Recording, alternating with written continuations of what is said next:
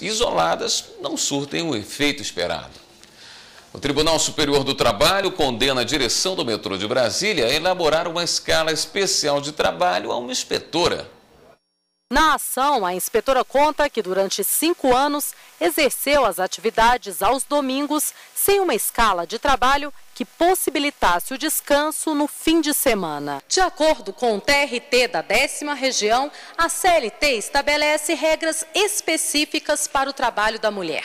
Por conta da estrutura física feminina ser mais frágil em relação ao homem, a legislação diz que, havendo tarefas aos domingos, será organizada uma escala de serviço entre os empregados a cada 15 dias. Com base nesse entendimento, o TRT condenou o metrô a organizar o revezamento entre os funcionários nos fins de semana.